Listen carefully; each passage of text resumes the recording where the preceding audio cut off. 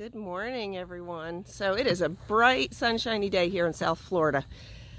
It was a little overcast, and I thought, oh, I got to go out and pick some beans. It's a good time to go do that.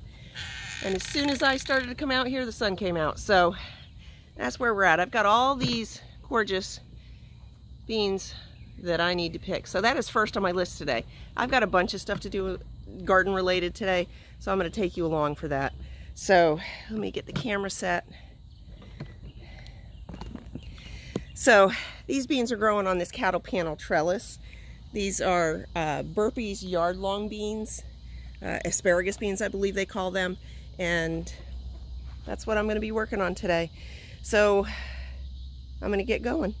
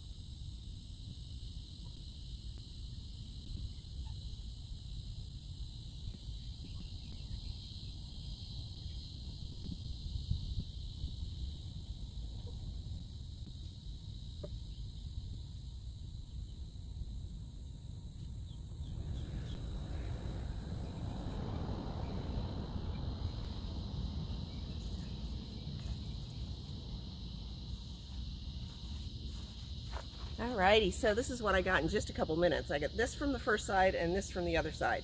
Some of these are on the thin side, but I like to get them when they're when they're a little bit thinner. They're they're very nice and sweet then. If I wait another day, a lot of times they're too big. So this was my bean harvest for today. It took me, I don't know, five minutes.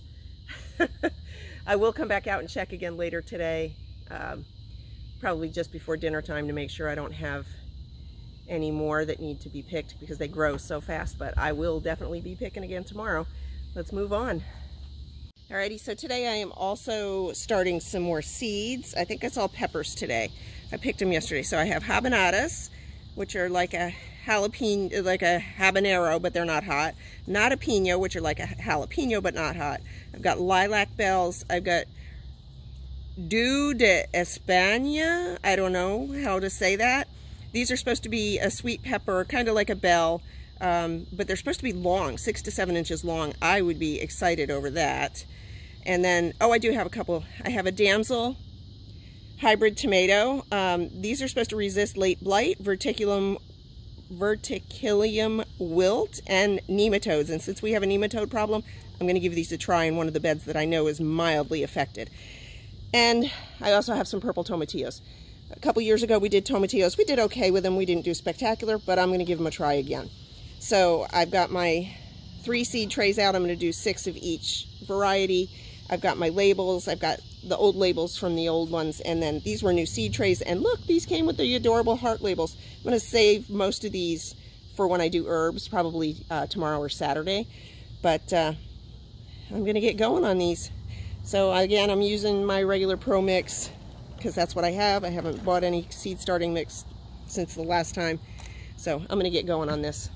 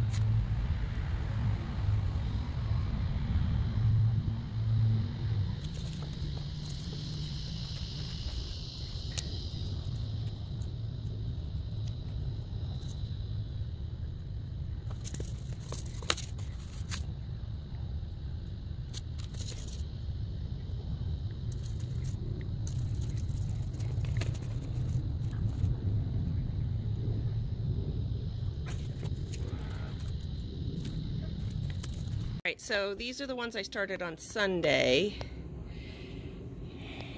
Um, today's Thursday, so four days. I've got all these have sprouted. I've got all these that have sprouted. I'm waiting on the black cherries and the rosies, and of course the peppers always take longer. So uh, this spot doesn't get much sun. It will get sun in the late afternoon, but not this top shelf. So I'm going to move these two because they've already got sprouts down a shelf, so they'll get sun later this afternoon, and I'm going to put my fresh ones up here. Alrighty, so here we are. Um, I did give them a little bit of water. The the my potting soil was very moist to start with, very wet. But I did give them some water. All I have left is to take my pictures so I can remember the information on each one. And I am done with seed starting for today.